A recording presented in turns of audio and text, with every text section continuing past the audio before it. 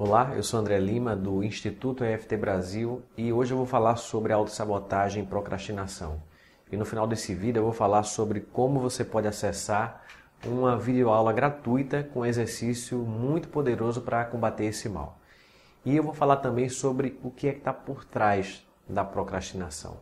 Então, para começar, o que é que significa isso? Procrastinação. Procrastinar significa adiar aquilo que é importante de ser feito. A gente pode procrastinar algo que é uma obrigação, como por exemplo uma conta para pagar, um relatório que você tem para fazer, mas pode ser também algo que não é uma obrigação, mas que se fosse feito traria um benefício para a sua vida, como por exemplo fazer um curso, organizar o seu trabalho, fazer um investimento na sua carreira.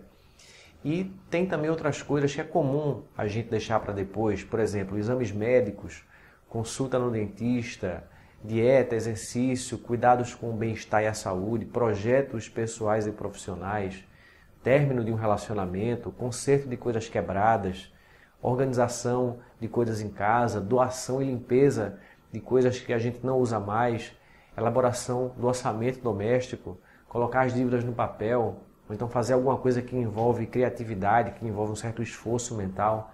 Então são muitas coisas e existem várias razões por trás desse tipo de comportamento sabotador. E essas razões, elas não são lógicas nem racionais. Elas têm um fundo muito mais emocional e também ligado a crenças limitantes. E na maioria das vezes é um processo que ocorre de forma inconsciente que você não vai se dar conta. E eu vou relatar aqui algumas dessas razões que estão por trás da procrastinação, desde uma razão mais superficial até outras coisas mais profundas. Então vamos lá. A simples sensação de que a tarefa que você vai fazer é chata, que é uma coisa entediante, é capaz de fazer você adiar a tarefa. É como se fosse uma tentativa de você não entrar em contato com aquele sentimento ruim que surge quando você pensa em fazer a tarefa. E então você deixa para depois. E aí você sente um alívio momentâneo, que não é um alívio verdadeiro, porque no fundo você sabe que vai ter que fazer aquilo, isso acaba gerando mais ansiedade.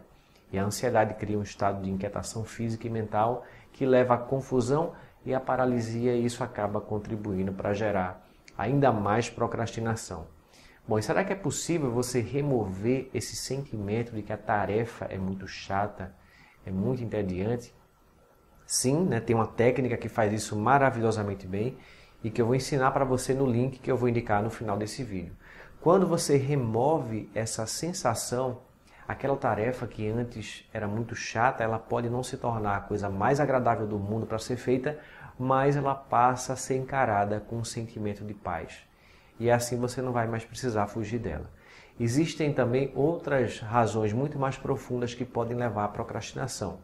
Isso porque procrastinação é uma das, das, das formas de manifestação de, de mecanismos de autossabotagem. E a autossabotagem acontece devido a inúmeros fatores emocionais. Então, por exemplo, sentimentos de culpa.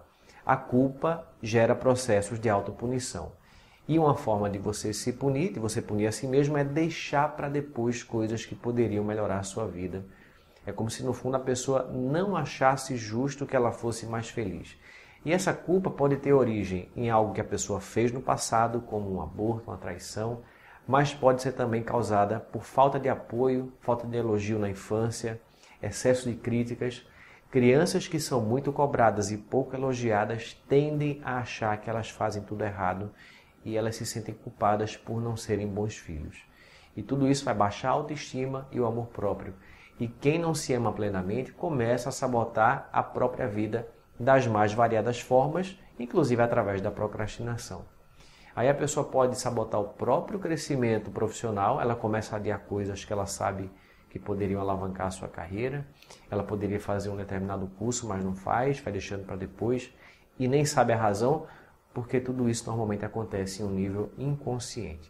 Se você perguntar para essa pessoa, é provável que ela diga que ela gostaria muito de crescer profissionalmente.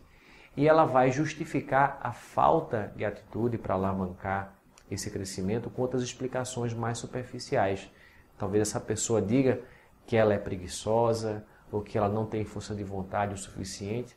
Só que tudo isso já é o reflexo desses sentimentos que a pessoa guarda e que geram essa energia sabotadora que acabam levando a pessoa a sentir preguiça e falta de força de vontade. Então eu gravei uma videoaula gratuita onde eu explico mais profundamente esse tema e onde eu ensino um exercício prático utilizando a técnica da EFT, que é uma técnica para limpar emoções negativas, para que você possa se auto-aplicar agora mesmo e ajudar você a se libertar desse tipo de autossabotagem e procrastinação. E para você acessar essa aula, é só você clicar no link que deve estar aqui nesse vídeo em algum lugar ou aqui embaixo na descrição. Então clica lá agora para você solicitar o seu acesso a essa aula gratuita e eu vejo você do outro lado.